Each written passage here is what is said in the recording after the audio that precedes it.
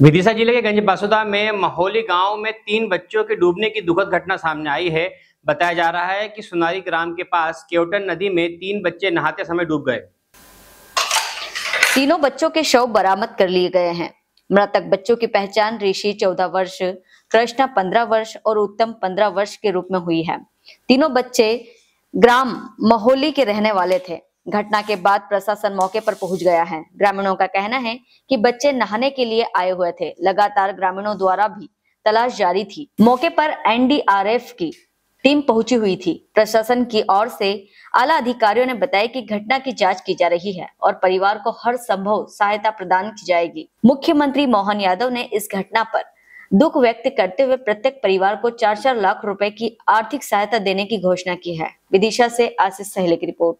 जैसे कि आज ये बासोदा तहसील अंतर्गत उदयपुर क्षेत्र में ग्राम सुनारी और माहौली के बीच में जो क्यूटा नदी है, इसमें ग्राम माहौली के तीन बच्चे, जिनमें ऋषि, कृष्णा और उत्तम यहाँ स्थानीय लोगों के द्वारा जो बताया गया कि यहाँ नहाने आए थे और पैर फिसलने से दुर्घटनावश नदी में डूब गए।